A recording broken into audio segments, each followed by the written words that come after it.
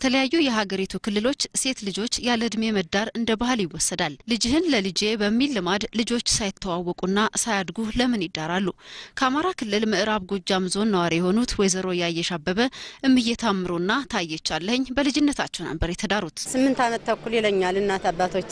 እዛን ጊዜ ነው የተዳርኩኝ። የዛን ጊዜ ነፍስ ምን የምራሴ የማላውቅም የልጅን አዱኛ ልይ በማለት ዝም ብለው ነው እየዳሩኝ ነበረ።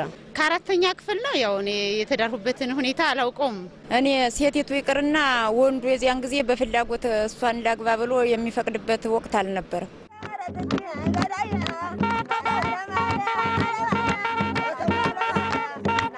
እኔ አልወቅ እንጂ ቤተሰብማ ተስማምቶ ነው የሚድርማ ተስማምቶ ነው ቀጥሮ ቋጥሮ በሬ ታርዶ ምን ብሎ ነው የሚዳር። የዛን ጊዜም ቢሆን ባሌማ ቄስ ነው ሽማግሌ ነው። እንዲያውም ራሱ እኔ ሲመጣ ፈረዋል። ደስተኛም አልነበርኩ የዛን ጊዜ። ለምን ሰውየው ወደላ ነው፣ እኔም ወሳነኝ ሰቀቅተኛ ነበርኩ፣ ሰቀቅ ነበረ። ሌማት የሚባል አለ በአካባቢያችን። ሌማት ልሰብስብ ይላል የዚያን ጊዜ ወግ ማረግልኝ እኔም ልዳር ላብላ ምረቃ ልቀበል። በቃ የወረደ አስተሳሰብ ግንዛቤ ባለመኖሩ እንደ ከሌ ተብሎ ብላታ ምን የሚባል አለ በአካባቢያችን። እንደነ ከሌ ላብላ ላጠጣ በቃ ወግ ዳውጃ ትርገጥ ልጄ ምን ተሚል ሀሳብ እኛ ግን እዚያ ሰንሰለት ውስጥ ነው ገብተን የቀረ ነው። ሴት ልጅ ምን መሆን አለባት? መገረዝ አለባት። በልጅነቷ ማግባት አለባት። መስራት አለባት እና መማር ያለባት መልመድ ያለባት የእናቷን ኮቴ እየተከተለች እንዲህ ነው እንዲህ በቃ እኛም ያንን አምነን ተቀብለን እናድጋለን።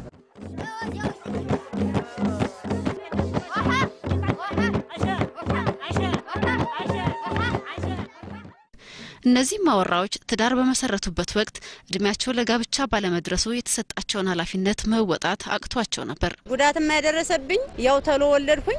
ሙሽርነቴን አላወቁትኝም። ተሎ ወልጃለሁ። ያው የምቻለኝን እንደ አቅሜ መወሳ የተወሰነች ቤት ጠርግ እንደሆነ ቤት ጠረጋ፣ እህል ማቅረብ እንደዚያ። ቅዱ ውሃ አምጡ፣ በርበሬ ውቀጡ፣ ብቅል ውቀጡ ይባል ነበር። ባልህ መመጣጠን እኔ የምለውን እሱ አይቀበል፣ እሱም ይለኝን እኔ ለመቀበል ደግሞ ወደ ኋላ ምንመጣ ስንሆን ለፍች ተዳረግነ።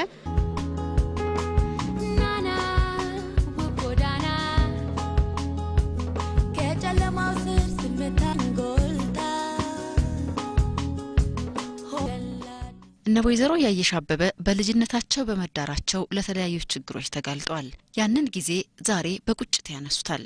ዛሬስ ያለ እድሜ ጋብቻ በምን ደረጃ ላይ ይገኛል? እናቴ እኔ ሳታማክር ልትድረኝ ሞክራለች። እኔ ምኑንም ነገር አልሰማውም።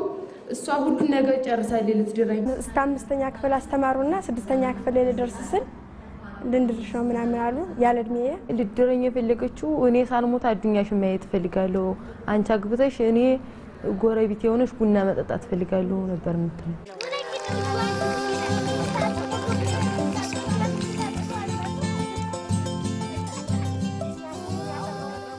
እነሱ ሊድሩኝ ሲሉ እኔ አልሰማሁኝም። class ላይ ስገባ ጓደኞቼ ይስቁብኛል፣ ይጠቋቆሙብኛል።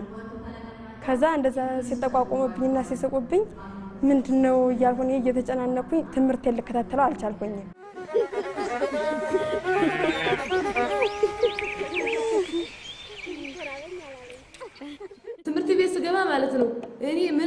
ልማር አልችልም ነበር። ይች ልጅ ናት ያት ይችና ሙሽሬት የምታገቤት ምናምን እያለ የተማሪ ስለሚጠቋቁምብኝ ልማር አልቻልኩም። በቃ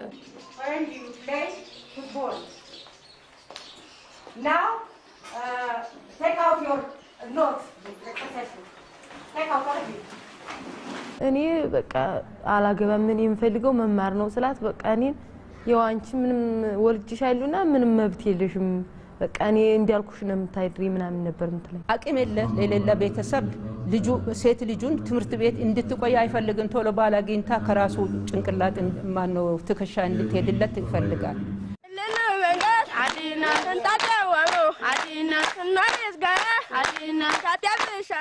በትምህርት ቤታችን የልጃገረዶች ክበብ ተብሎ የተቋቋመ ክበብ አለን። በዛ ክበብ ደግሞ እኛ በሳምንት አንድ ጊዜ ተሰብስበው እንማራለን። ስንማር ምንድን ነው በቃ ከትምህርት ቤት ውስጥ ሆነ ከትምህርት ቤት ውጭ የሚደርስባችሁን ጉዳት ለእኛ እየመጣችሁ ንገሩን ተብለናል። በዛ ምክንያት ያንን ችግር ሲደርስበት ከትምህርት ቤታችን ክበባ መሪ ማለት ነው ለመምህሪቱ ከጓደኞቼ ጋር ሀይልኩኝና ነገርኳት። ምንድን ነገር ነው? ምን አይተወቤ ነው? እንዴት እንደዚህ እኔን የሚያሽቆለቁሉና እኔን የሚስቁብኝ ምንድን ነው እያልኩኝ በጣም ተሰምቶኛል። ከዛ እንደዛ ሲሉኝ ነው ስል እንደዛ ልትዳሪ ነው ምናምን ሲሉኝ አይ ይህንስ መምህር የማለች ሊቀርም ይችላል ችግር የለውም ምናምን አልሁና ራሴን በራሴ ያረጋገውኝና ወደ መምህር ያህዱ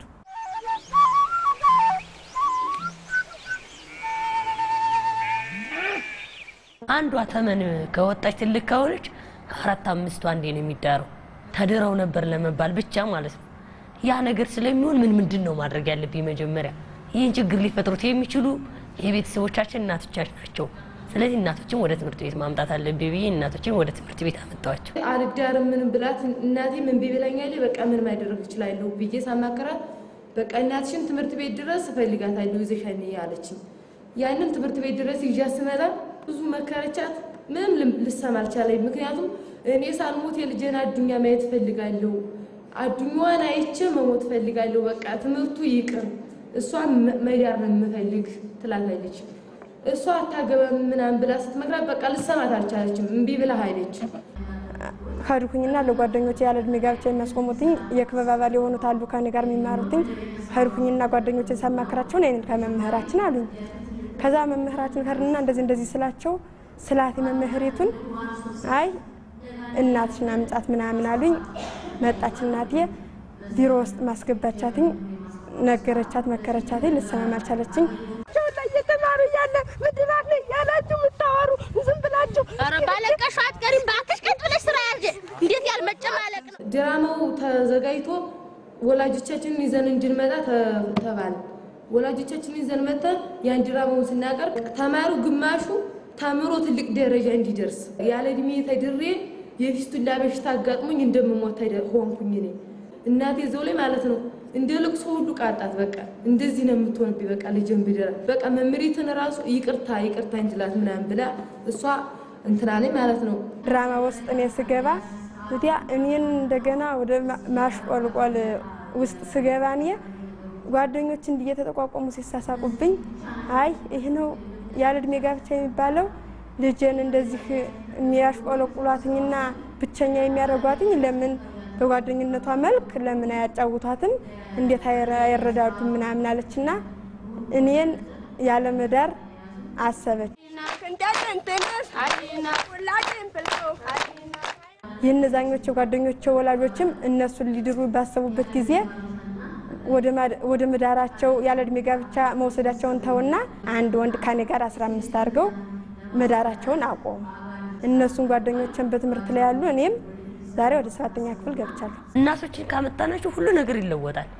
ወንድ አያዝዝም እኮ በገጠር አካባቢ ስናየው ሴት ነው የሚያዝዝ። የልጆች ጋብቻ የሴት ልጅ በህፃነቷ የማግባት ባህላችን ነው ብለን አጣብቀን ልንይዝ አይገባንም፣ አንችልምም።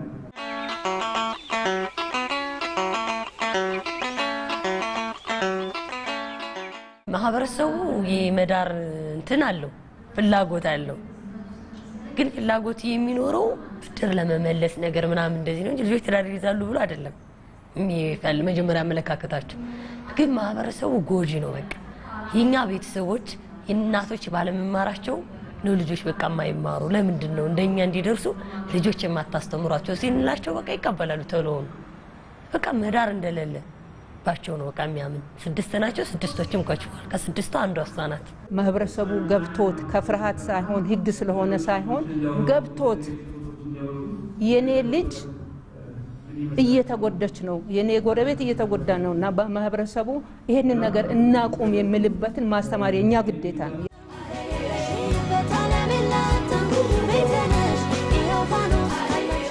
ተማሪ በላይነሽ ንጉሴና አዲስ ጀምሌ ከትምህርት ቤታቸው የሴቶች ክበብ ባገኙት ግንዛቤ በመታገዝ የመጣላቸውን ጋብቻ በማቋረጥ ትምህርታቸውን ቀጥለዋል።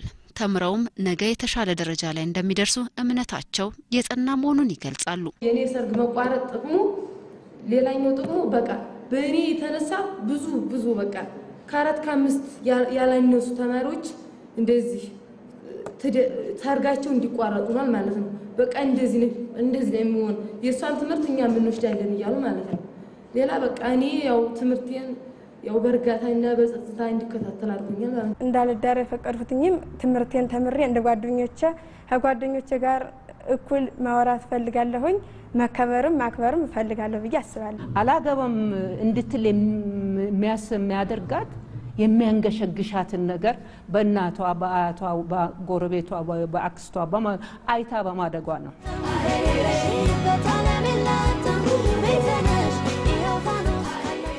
ያለ እድሜያቸው ማግባት ማለት ደግሞ ሴቷ ትንሽ ሆና ወንዱ ትልቅ፣ ወንዱ ትልቅ ሆኖ ሴቷ ትንሽ የሚሆኑበት አጋጣሚ አለ። እንደዛ ስለሆነ ስነ ልቦናዊ፣ አእምሯዊ፣ አካላዊ ጉዳቶችን ያደርሳል ይሄ ማለት ነው። ያለ እድሜ ጋብቻ ጥቃት ያደርሳል። ጥቃቱ ምንድን ነው? ለፍስቱላ ይዳርጋል። ያለ እድሜ ከተዳሩ ሴቶቹ ሰውነታቸው ልጅ መሸከም ትክክለኛው ደረጃ ላይ ሳይደርስ ካረገዙ ምጥ ይረዝማል። ከዚያ ጋር ተያይዞ ከህፃኑ መሞት ቀጥሎ እናት መሞት እናት ከሞትን ብትተርፍ እንኳን እንደ ፊስቱላ ላሉ አደገኛ በሽታዎች ሊጋለጡ ይችላሉ። ከዚያም በላይ ደግሞ በልጅነቷ ሴት ልጅ ከተዳረች ከትምህርት ታቋርጣለች። በልጅነቷ ልጅ ትወልዳለች፣ የልጅ እናት ትሆናለች። ስለዚህ የመማር እድሏም ስለሚ- ስለሚዘጋ ከድህነት የመውጣት እድሏም የዛኑ ያህል ነው የሚዘጋው። ስለዚህ መላ ህይወትን የሚያጨልም ነገር ነው በልጅነት ማግባት።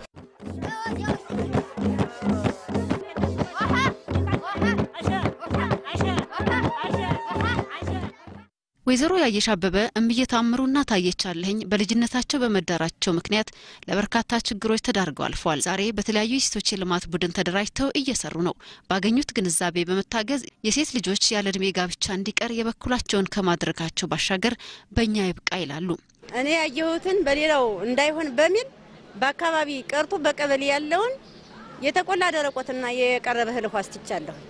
ለምን ይሄ ህጋዊ ሆኖ ልጅቱና ልጅቱ ሆኖ ተፈቃቅረው ህጋዊ ሆኖ ህግ ታላወቀው አይዳርም በሚል እኔ ብዙ ልጆች አስቀርቻለሁ። ተመዳ የትዳር ሰንሰለቱ እየጠፋብን በሰው ተጽዕኖ ያገባ ነው ባል ስለሆነ አሁን እንዲቆምና እንዲተው በብዙ ነገር በልማት ቡድን በአንድ ለአምስት እየተወያየን ያው ልጆቻቸው እንዳይድሩ እየመከር ነው ያለበት ሁኔታ ነው።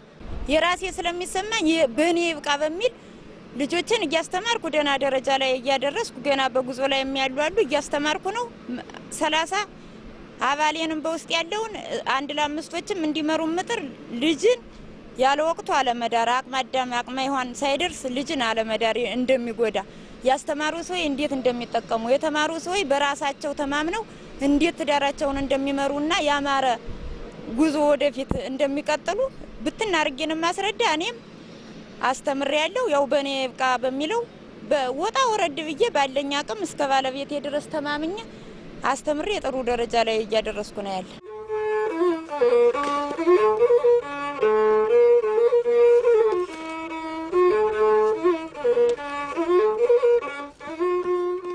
ያለ እድሜ ጋብቻ ብዙ ጎጅን ያመጣል። ተው አትዳሩ፣ ያለ እድሜያችሁ አታግቡ፣ ትምህርታችሁን ተማሩ፣ እንዲህ እንደ ጓደኞቻችሁ እኩል ደረጃ እንድትደርሱ እንደ ልባችሁ አእምሯችሁን እያገናዘባችሁ ራሳችሁ ተማሩ፣ ቤተሰቦቻችሁን እንዳደሩ ነበሏቸው፣ ለመምህራችሁም አሳውቁ ምናምን ግን እንመክራቸዋለን። ያለ እድሜያችሁ አታግቡ። ተማሪዎቻችን እኮ ወደ ማድቤት እንጂ ወደ ውጭ አይወጡም። መድረክ ላይ ግን እኩሉ ነው ባንዲራ እየሰቀሉ መብታቸውን እያስከበሩ ነው ያለው አሁን። ምክንያቱም የልጃገረዶች ክበብ የሚባል በመምጣቱ ማለት ነው። ማንኛውም ትግል ሌላ ሰው ታግሎልሽ አይደለም የምታገኝ። ሴቶች እራሳቸው ግንባር ቀደም መሆን አለባቸው።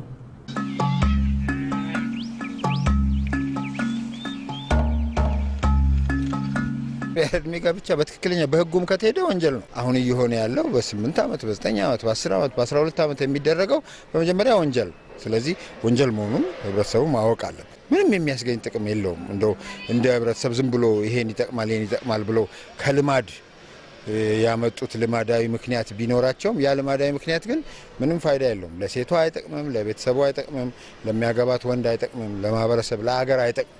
ስለዚህ ይሄ ጎጂ ነገር ስለሆነ ህብረተሰቡ በመጀመሪያ የህብረተሰብ ስንል ግለሰቦች ስለሆኑ እያንዳንዱ አባት እናት ልጁ እንዲህ ማድረግ የለበትም። ይህንን መዳር ምናምን እዚህ ነገር ውስጥ መግባት የለበት። ሁለተኛ የህብረተሰቡ አካል የሆኑ የህግ አስከባሪዎች፣ ፖሊሶች፣ አቃቤ ህግ፣ ፍርድ ቤቶች ምናምን ይሄ እንደ- እንደ ቀላል ወንጀል ሊያዩት አይገባም። ወደ እያንዳንዱ ቤተሰብና ግለሰብ ማለት ነው። ከዛ ውጪ በህግ ደግሞ ስልጣን የተሰጣቸው የህግ አካላት ደግሞ ይህን ጉዳይ እንደ ባህል ብለው አይደለም መተው ያለባቸው። ይሄ ባህል አይደለም፣ ወንጀል ነው። በደንብ የተጻፈ ስለሆነ ማለት ነው።